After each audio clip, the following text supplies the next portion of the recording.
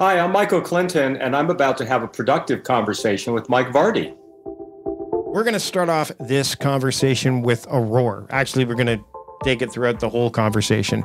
Roar into the second half of your life before it's too late is the book by Michael Clinton, and he is the guest on today's program. Uh, we talk about the importance of knowing that when you go into the second half of your life, that it's not the end of it. we get into a lot of conversations around that. This is a conversation that happened uh, a couple of months back. We're releasing it today. Um, I'm I went back and revisited the episode as I was preparing the show notes, and I have to say it's it's it's a great conversation. It's one that should definitely be something that you pay attention to, no matter what phase of life you're in, um, because you want to make sure that you roar into the second half of your life. And Michael has plenty of stories and experiences that he shares during our conversation and in the book that'll help you do that. So, without further ado, here is my productive conversation with Michael Clinton. I love talking to people who have the same name as me because it it it just I already know right out of the gate that we're going to have at least one thing in common. So, Michael, thanks for joining me today on the program. Thank you. Thanks so much, Mike. And it's good to know that my family does not call me Mike. They call me Michael. So we now know we're differentiated. We do. I only get called Michael when I'm in trouble. There you go. and the middle name gets thrown in there as well. Maybe that's how it stuck for me over the years. well, now that we've established you're a troublemaker, uh, this book may be a troublemaking one for for some people because they may they may not be necessarily they may be ready for it, but they're they're like, oh, I don't know, I don't know. There's some some people really hesitate around the idea of roaring or even going into the second half of your life because they're so used to the way things have been. Um, when you put this book together, Roar, into the second half of your life before it's too late, was was that one of the things that you were taking into account like people there are some people that are very hesitant and or dismissive of the notion that hey you know what maybe maybe i should be doing this thing that i should have always been doing or that i've really wanted to do yeah, well, you know, the big wake up call that I had, which led to the book, is that, you know, if you're 50 and healthy today, you have a really good shot of living to be 90, even 100. And so all of this notion of, you know, when I'm in my 50s or I hit 60, you know, my life is is not a long runway is all changing. And so it's it's creating this awakening with people that they can have a second or third career, a new relationship, a new lifestyle. And that that seems to be giving a big stimulus for people to think about I, I, I you know i'm not going to be able to sit there and play golf for 25 years the proverbial golf game. And so i think it is uh, it, there's a big awakening happening. And in the book i interviewed 40 individuals who in fact made the decision to pivot and change and talk about how they do it you know uh, one of the things that came up as i was going through the book was this idea that uh, you promoted somebody near, near, when you were in your role at Hearst, right? When you're when you're at Hearst, because uh, that was the role that you had before. Uh, she, she, was seventy, if I remember correctly. Was was she seventy years old? Can you tell that story a little bit? I don't I don't want you to reveal all the stories in the book because the book there's a lot of great stuff in here, but that one was like. Because that's inside of a corporate environment where people are like, first off, you should be gone. Like, once you hit a certain age, not even retirement age, but there's an age where it's like, okay, this is where you are and this is where you stay you bucked that trend, and so did this individual. Yeah, for sure. As uh, you know, I was president and publishing director of Hearst Magazines, and I had an executive who you're alluding to, who was phenomenal. You know, she regard. I never looked at her, you know, th- through her age lens. She was a contributor. She was a performer. She was innovative. She was all of those things. And so before I stepped out of the day to day, I promoted her and gave her a larger portfolio. And I think what we're going to see happen, and there's a lot being written about this right now, is you know the talk of a 60 year work career that we're all going to have and how we're going to be working longer some of us because of financial needs some of us because of a desire to stay engaged and involved in our in our main career so i think as time goes on those 60s and 70 year olds who are staying in their profession it's not going to become so unusual corporations, HR, you know, all of those folks are going to have to get on board because it's the people who are going to drive this. It's not going to be the institutions. The people are going to re- demand this, quite frankly, in terms of their own lives. Well, and that's the thing. The institutions will follow because they'll have no choice. That's the thing is unless you unless you put the pressure on, unless there's enough people professing it. Um, you know, I've talked to Rich Karlgaard before about this. Uh, he wrote the book Late Bloomers, fantastic book. We'll link to that episode in the show notes. And my buddy Steve Dotto, who was uh, he's based in Vancouver, he was on TV and he kind of like he's embracing what he calls the gray wave, and and he's leaning harder into that as well, um, as he's gone from television to YouTube to like just embracing a lot of technology. So as it's interesting because the boomer, like my, my parents are boomers, I'm a Gen Xer. Um, I can tell the difference between the people who are like just leaning into this idea of roaring in versus the those that aren't. And I know some people that aren't that are just like they're bored out of their minds. And they it's because I don't know, were they were were were we sold a bill of goods that was like you work until, you know, you're 65 and then you can do whatever you want, but by the time you're 65 or you're retired you're like I'm not capable of doing what I wanted because not enough money. I'm now I'm now a bit more, you know, beat up than I was when I was younger. I, I, I is that a generational thing that that that is a, well i'd love to lean into that a little bit before we start to actually break down the acronym of roar. Yeah thanks. I guess gaslight is the word that comes up to fair, my mind when you talk about you know this is this is what you're supposed to be doing when you're 60 or 65 or 70 i'll draw an analogy almost to i'm going back to the 70s to the women's movement. When women created lots of different role models for young women. And I think the boomers are going to create a lot of different role models, not just for their peers, but for the Gen Xers and the next generation. You know, I'm hoping that today's 35 year old can look at a 65, 70 year old reimagineer, is what I call them, and say, wow, that's an option for me. You know, I don't have to go live this quote unquote retired script that I was handed. I can go and start a business, become an entrepreneur, you know, go run a marathon at 65. I want new role models. And I think the boomers, of which I'm one, you know, we like to shake it up. We always have. And I think our new our new platform is shaking up what second half can look like. So I think there's got a lot happening in that on that. Front. You mentioned Reimagineer, and that's going to lean right nicely into and dovetail nicely into the idea of what ROAR stands for. So can we first off, let's break it down.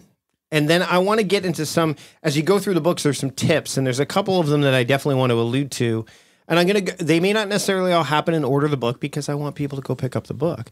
Uh, but, right. but uh, if we can break it down a little bit uh, so that people have a sense of, okay, so if I'm going to roar into the second half of my life, what does that mean? Yeah, well, first of all, I wanted this to be a book that that people could completely understand and relate to. So it's a combination of aspiration and very practical guidance um, for people, let's call it 35 to 55 or even 60. And, you know, it is really targeted to the professional class, uh, you know, knowledge workers, you know, people who are aspiring in their lives and striving. So the acronym is reimagine your life before someone else does it for you, because, you know, we all know what's going on with, you know, downsizing and natural disasters, etc. What is your favorite future? And the first R is really the tools to help you shape that. The O is own your stuff. I mean, own your numbers, own your health numbers, own your financial numbers, where you are right now, own where you come from, and own, take a really hard look at where you are right now. And where is it that you want to pivot? Where is it that you feel that you need to have a reimagination in, in your life?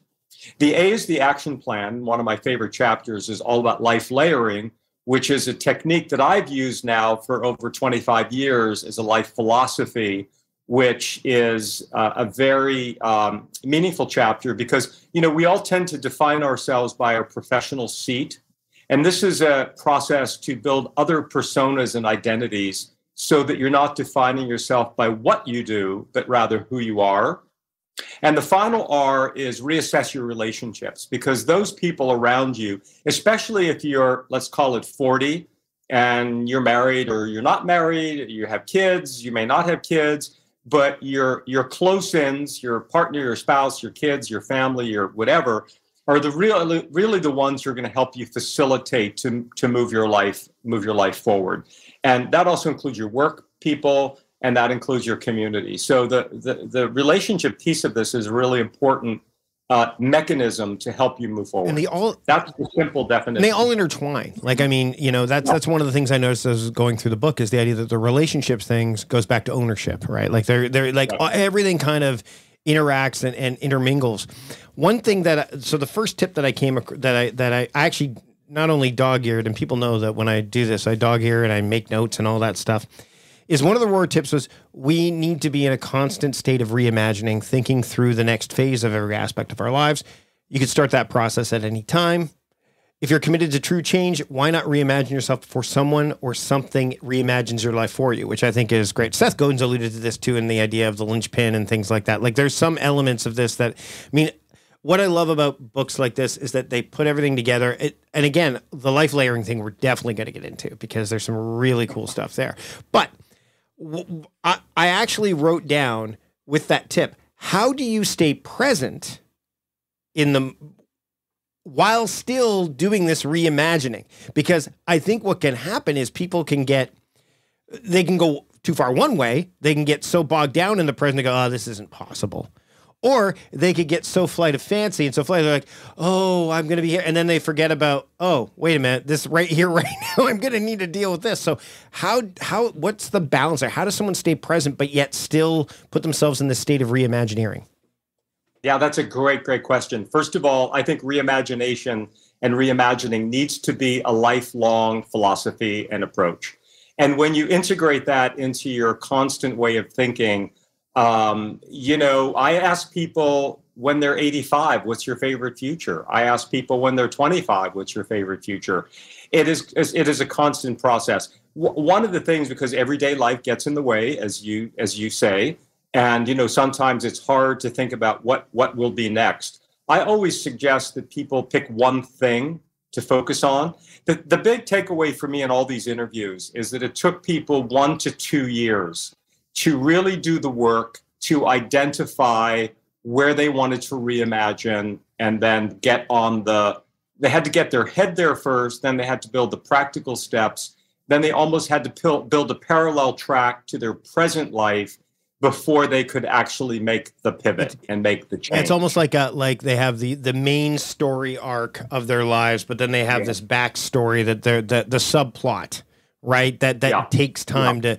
Interestingly enough, Michael, just sidebar is that um, as a comic book geek and people know this if they've seen my stuff before. The Moon Knight series is coming out, and people are like, why wouldn't they make it into a movie? A movie, a movie. I'm like, that character is so layered.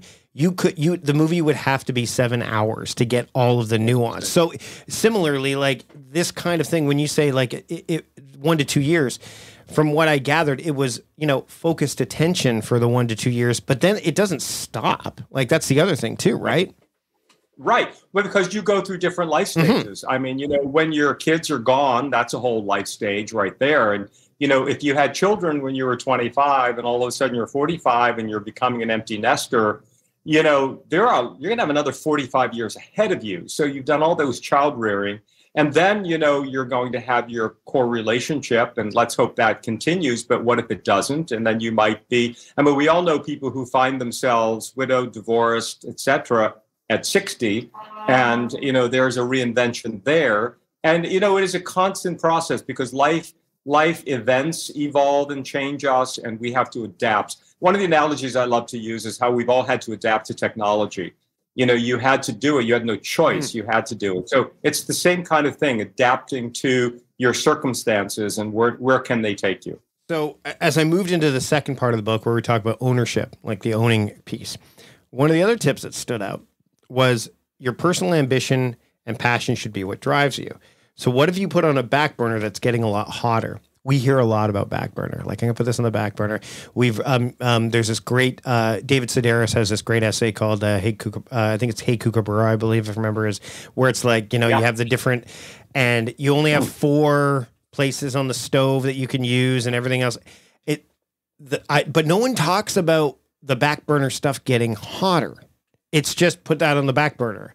Um, it's as if the back burner's off. You know, like it's like it's like we have a, a, range upstairs and the kettle that sits on the on the off burner, and it's just there. That's where you keep it, and you turn it on when you need it. And you turn. So, what are some of the signals that you you've had yourself or through your interviews where people were like, oh, that back burner thing, it's getting hotter. Because I think that's one thing people fail to recognize is, oh, this thing that was on the back burner, I it's the kettle's boiled dry. I let it sit, and now it's it's so hot that I, uh, you know, uh, I have to bring it to the forefront.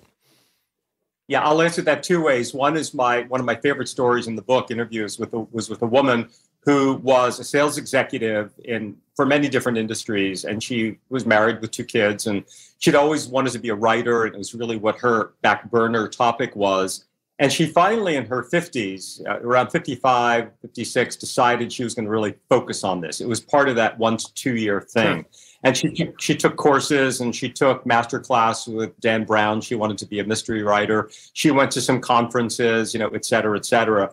To make a long story short, she wrote a novel. She said she had 170 rejections and she um, gulped and she stayed with it. And she finally got her first novel published at 62 She's now 66. She's written five novels. She now calls herself a novelist, and she brought it back from the back burner to the front burner. And I think what one of the lessons there is go back to your younger self. What is it that you left on the shelf, on the back burner in your younger self that brought you excitement and passion and interest but you got sidetracked because you were told that you should be practical and get an accounting degree instead of being an anthropologist and you know etc um, you know the second way i'll answer that is i was one of the i was very happy and proud to be one of the uh, folks who launched oprah winfrey's magazine oh the, oh the oprah magazine.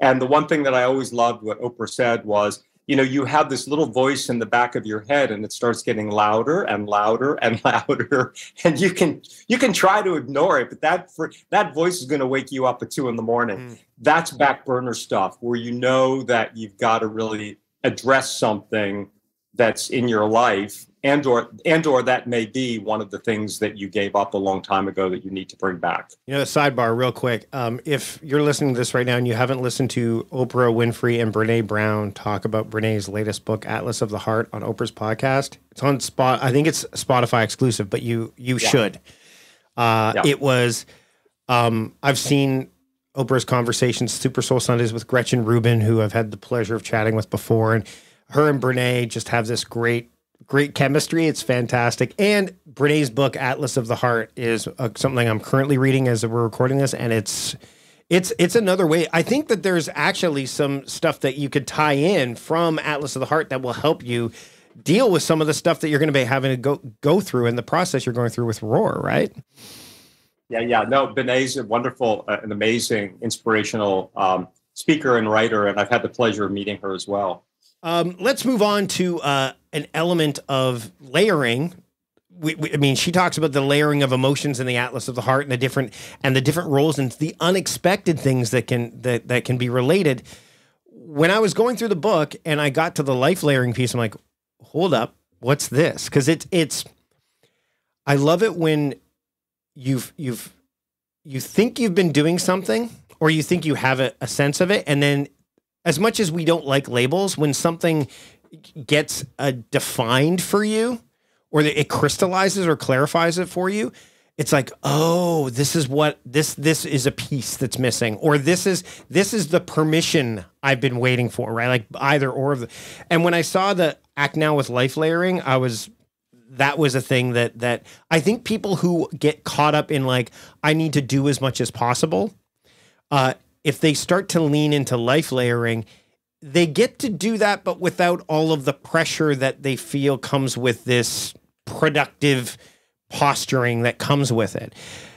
Can you, first off, I'd love to hear your take on that, but also lean in and, and dive into a little bit about what life layering is and maybe what it isn't, because I think th- some people yeah. can go too far with it too, right? Yeah. Yeah. Well, let me start with my own personal story, which was when I was 39 years old, I was the publisher of GQ. I had been the youngest publisher in the industry. I'd been the publisher for five years. Great job, great job.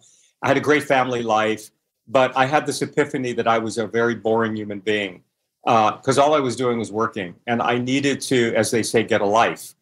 So on a business trip coming home on a, on a flight, I decided I was going to tap into my adventure self. I'm a, I have a lot of adventure streak in me. and made the decision to take a flying lesson and go climb Mount Kilimanjaro to celebrate my 40th birthday. And that led to what it was my what I'll call my first life layer in that I decided my 40s were going to be my adventure years. And so I made it a point once a year minimally to take an adventure trip with a group of, you know, family or friends. And we picked a place every year and we've climbed mountains all over the world and we skied and we've hiked and we've done all sorts of fun things. And that layer, which is now, you know, over, you know, 25 years, has become an extremely rich part of my self-definition. You know, I've my my most recent um, thing is I ran seven marathons on seven continents, including obviously a marathon in Antarctica, which is how I celebrated my 60th birthday. And so that layer was on top of my career and my family life. But to your point, you don't have to jam it all into one year to check a box. This should be something that you want to take on for your whole life. So in my 50s, I tapped into my creative layer. I really focused on my photography. I ended up publishing eight books of my photography. I had a publisher who was um, just kept churning me out and you know had photography shows etc and so my creative layer and the thing about creativity whatever your creative passion is there's no timestamp on it. Mm-hmm. You know you can be a photographer to the end of your days. You can be a writer. You can be a sculptor. You can pick pick your creative passion. So ultimately what happens is you get this big fat delicious layer cake that you're building in a life and, and one doesn't replace the other it's always additive to. You just have to identify what's important to you. For me it was adventure travel it was photography it was marathoning it was philanthropy. And so, getting back to the earlier discussion, when I stepped out of my day to day seat at Hearst, which was a very terrific seat as the president and publishing director, that self definition was only one small part of my layer cake. Right. And so, you know, a lot of people, when they step out of their profession, they go off the cliff because they have not cultivated other things. And so I like to say, start now. Start if you're 25, start if you're 35 Start if you're 55. It doesn't matter. Just build a layer and stick with it. Um, and you know that's what life layering is. It, it isn't you know a quick a quick jab of like okay I'm going to take a photography course and then I'm not going to do it. Boom in and out. Really think about focusing on it and, and developing it. No pun intended. Over you know a long arc of your of your life. Well, and I think one of the things that I noticed as I was reading the book is the enthusiasm throughout. Like there was just a uh, I didn't read. let's put it this way: as I went through the book, I'm like, he's he's how old? What has he done? Like it just there was this, and again, I think there's a preconceived notion about you know, like I mean, ageism is a thing, and people are have this sense of oh, uh, you know, if you're if you're at this age, that's it you're done. And, and what what fascinates me is someone said to me like what are you going to do when you're done writing? Like because i'm a writer first and foremost as well. Like what do you, what, i'm, I'm going to be dead probably like i'm a writer. That's what i do. And they're exactly. and they're like well yeah. will you always write? I'm like no I, I, I don't know what i'm i'm but i i've been a writer since i was you know in grade six and i'm going to keep doing that because i love doing it. but i also make films and i also did comedy and i also and and i think you're i think people again they there is this this idea of being a uh, doing productive instead of being productive. Like I talk about this is like you know like yeah, and, and you mentioned about like layering life and things that are lifelong pursuits. I think what some people get caught up in too, and this leans in nicely to the the the tail end of of Roar, is lifelong friendships, and there there are some for sure, um, and technology has allowed friendships that may have not stay and uh, or, or stood the test of time to either be rekindled or have that happen. I mean, Facebook has been wonderful for that in a lot of ways. There are other ways where it's not been so wonderful, but um, one of the things that I appreciated as you went as I went through the book was because Roar is it it you got starts with an R and ends with an R. You put relationships at the end. I think that that was very clever and and I don't know if it was by design or by default because I think you can't reimagine before you figure relationships out because sometimes the relationships can hold you back. That's been one of the things that I've struggled with too is I mean the my the best man at my wedding, we don't talk anymore. which is and the only time I see him is the photo on the wall. And there there used to be longer lingering moments of ah, I mean, but those moments have gotten fewer and further between because we're different people now. So can you touch on the relationship piece first? First off, I'm imagining it was by design and not by default the way the yours are set up. And then how do you how how important is it for people not only not only to embrace relationships and try to cultivate them, but to be okay with letting go of ones that that are frankly at they've reached their end. Well, you you hit a great nerve, and yes, it was by design because ultimately all of the things we talk about in the book can't happen unless those around you are the the the wind beneath your wings, as they say. You know, the, the thing about my business in the magazine business is we have a very important word called editing. And you know that as a writer. And you have to edit your life as well with the people who have become toxic, the people who are no, no longer supportive of you for whatever reason. There might be jealousy involved, there might be you grew separate parts. I mean, I too have many, you know, really long lasting relationships that I had to end. Both, by the way, family too. Mm-hmm. You know, it is, it's just not friends. And I think surrounding yourself by the people who are going to facilitate you and support you and be be honest with you and who you can be vulnerable with is incredibly important in this in this journey and that that happens throughout our lives i also like to say simultaneously listen i was on cbs morning news i was interviewed by Gayle king and i got Gayle asked me the pointed question so michael how old are you and I said, Gayle, I'm 68, and 68 is the new 68. Let's stop saying that 60 is the new 40. And she she laughed and she said, I'm 66. And so it's the same thing. And we're we're the role models, I hope. But the the key is that when you're in your 60s or your 50s, you should have friends who are in their 20s and in their 30s, and friends in their 80s and in their 90s, because it brings you perspective and it brings you thought and I want to know what 20 somethings think. I mean, I don't, and I want to do it. I want to do it on their head. I don't in their head. I don't want to do it in my head. And so reverse mentoring is important. You know, I have a few 20 somethings who are my my mentors. Um, and so I think this notion, and you can develop new relationships at any point in your life. You just have to be open to it, and you know, hopefully find the people my best friend in the world right now is somebody who I met in my early 50s. And you know, this this is a fellow marathoner and a best we're best friends and we travel together. He's part of the adventure group and we are um, brothers from another mother. And so I'm really lucky to have met um, you know this friend in my 50s so stay open to the possibilities and and it's funny I, I think i remember reading a story about charlie munger hanging out with somebody like he was at a beach or something like that. He was working on his computer. He had somebody that was like in their twenties, and he he the, he's like that. I've made friends with this person because they know more about this than me, and we've they're learning from me. I'm learning from them. I think that that it's such a, I think it's such an amazing um, world that we live in now, where because of the pursuits that we're all capable of in, in that most people can. Let, let, I don't want to be too general. Yeah. But that yeah. that the capabilities that are there allow and the opportunities allow for this kind of thing to happen. One of the things that I, as we get close to wrapping up here, in this book, I think the the wisdom that's in here is can can be f- appreciated again and again because it's it's a it's there's a an awareness and a perspective shift that happened as I went through. I mean, you I mean, you're looking at this right now. You could see the dog ears that that you know. Um, there are a lot of uh, amazing points in here, and I think that as we wrap up, if if someone was to look at the book and walk away from this episode, you know, they pick up the book, but they want to get started now. They're like, I want to get going now. Michael, what can I do to get what's the first step I can take to start to roar into this second half, third, fourth half of whatever half or quarter or fraction of the life that they're in?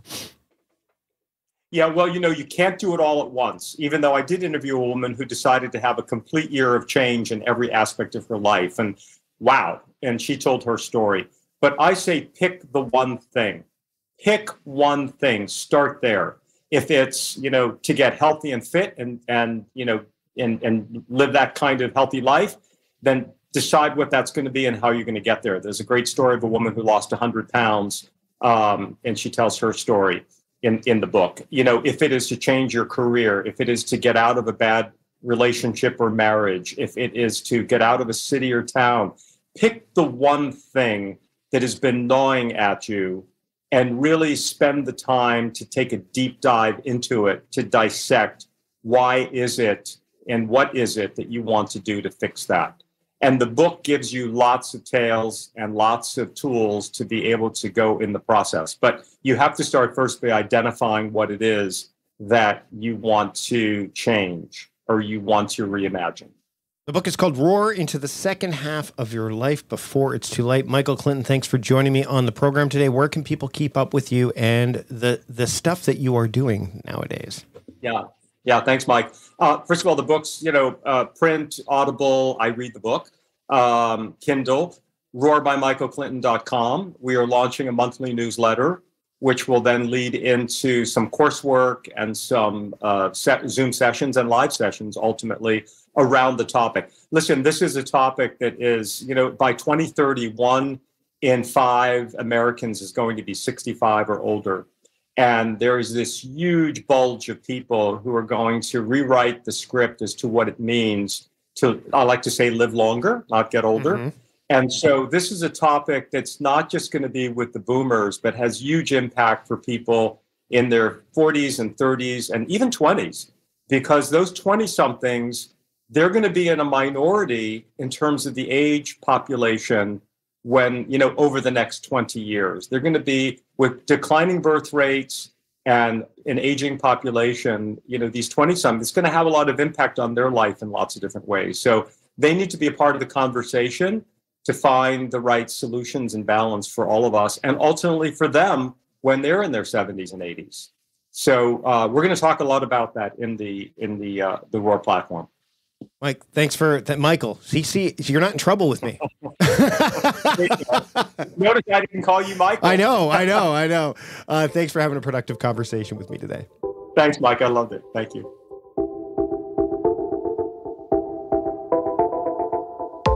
Thanks to Michael for joining me on the program today. And again, Michael has so much experience and it shows not just throughout the conversation but throughout the book. And you want to pick up the book. Don't forget to check out all the links worth exploring. And you can do that at productivityist.com slash podcast 423 pick up the book as well. Okay so don't forget to do that. Again that's productivityist.com slash podcast 423 visit there right now. But subscribe to the podcast first if you're not already a subscriber. So hit the subscribe button in Apple Podcasts, Spotify, Overcast, wherever you're listening to this. That way you don't miss a single episode of what's to come. And next time around, I'm joined by Neil Williams. Uh, that's another conversation that's been months in the making, and I'm looking forward to bringing it to you. I'm also looking forward to having you check out some of our sponsors, the ones you listened to today in particular during our conversation you want to make that happen, go to productivityist.com slash podcast sponsors, and you can do that now as well. And there's lots of great sponsors that have supported the show during this episode. So don't miss out on that. Again, productivityist.com slash podcast sponsors. You can also click on the link in the show notes as well. That's it for this episode of A Productive Conversation. Until next time, I'm Mike Vardy, reminding you to stop doing productive and start being productive. See you later.